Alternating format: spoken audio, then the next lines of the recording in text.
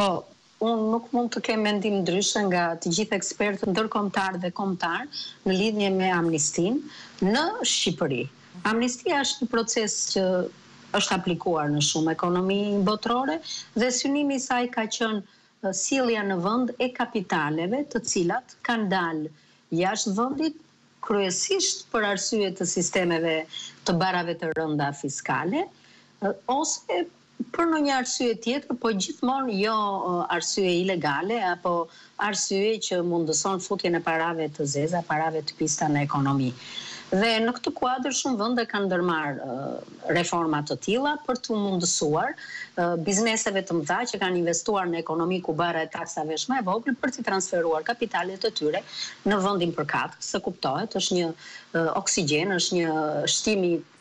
të ardhurave i aseteve në ekonomi.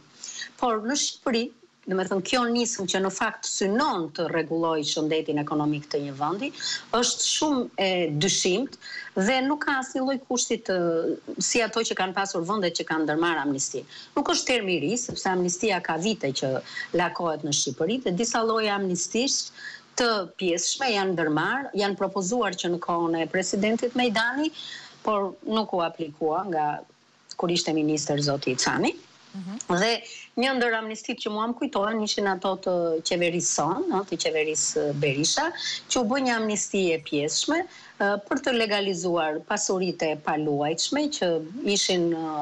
realizuar, ishin krijuar dhe nuk ju kishin dhënë formë legale dhe në këtë mënyrë i mundësonte shqiptarët të kishin asete për të marrë kredi dhe për të çuar më përpara për të rritur kapacitetet e ekonomisë apo falje e disa gjobave në qoftë se do të paguhej një pjesë e principalit për mos pagesa në dogana etj etj